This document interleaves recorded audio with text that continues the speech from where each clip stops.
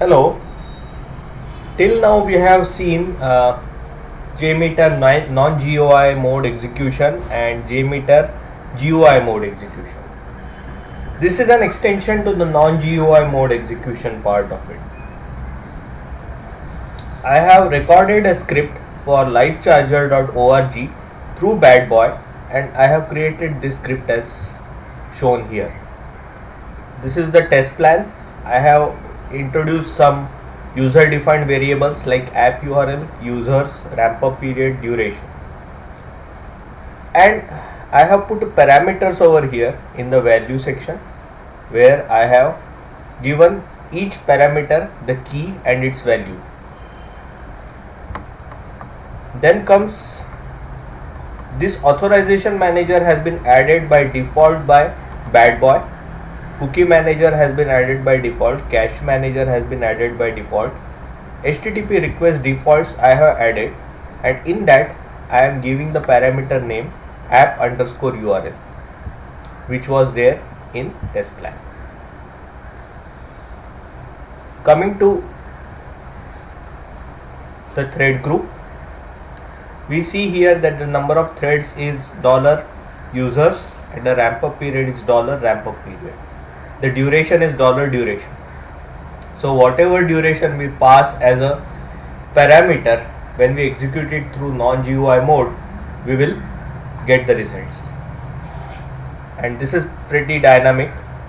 So it's good for our testing. Home page has nothing since it is taking data from the http request defaults. About page has just the path about archives page has just the path archives. I have put a view results tree over here and that's all that my test plan consists of. Coming to the batch file creation. I have created this batch file. Why i have created this batch file is because we require to execute certain tests with long parameter list or long commands. And to avoid this we can create a template sort of thing in which we can place all our batch scripts that are required for JMeter non-GUI execution.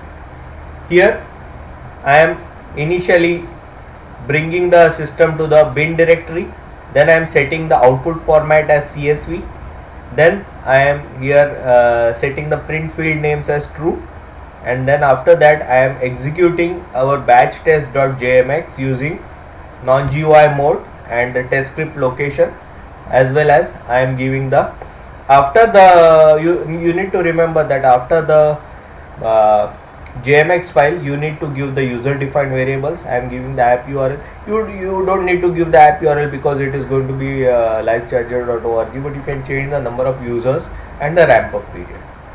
So here the number of users is 1, the ramp up period is 0 and minus L indicates the test result file. So this is test result.jtl. Now let's delete the test result file which was created earlier. There, there you go. So it's deleted. So here the main uh, aspect of non-GUI is to increase performance of uh, our execution otherwise it creates a lots of issues uh, when we execute it through the front end let's uh, execute this test. When we execute the test all we need to do is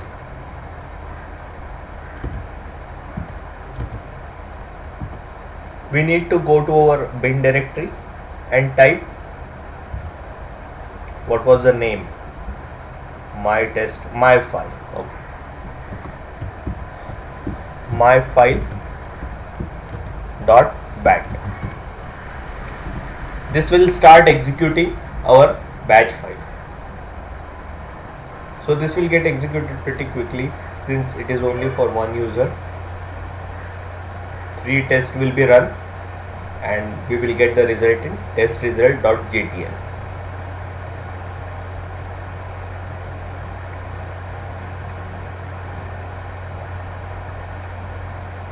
it's executing right now so let it run. The test run has completed. So now we will go and see whether our test result.jtl file has been created. The test result.jtl file has been created with the timestamp of 19th of October 2016 11:51 am that is right now. In order to view this test result.jtl file there is an option. I have already added the view result tree in JMeter so there is an option over here to browse the test result file in JTL format. So I select this one and click open. So you get the result over here and it's pretty uh, clean. So this way you can reduce a lot of burden on the GUI by executing it through non-GUI mode. And the most important part is you can use a batch file to reduce your effort in writing the same uh, commands again and again. You will find this pretty helpful while debugging your JMeter test. Thanks. If you have any questions, do let me know. I will surely help you out on this. And do subscribe to my channel and keep watching. Thank you.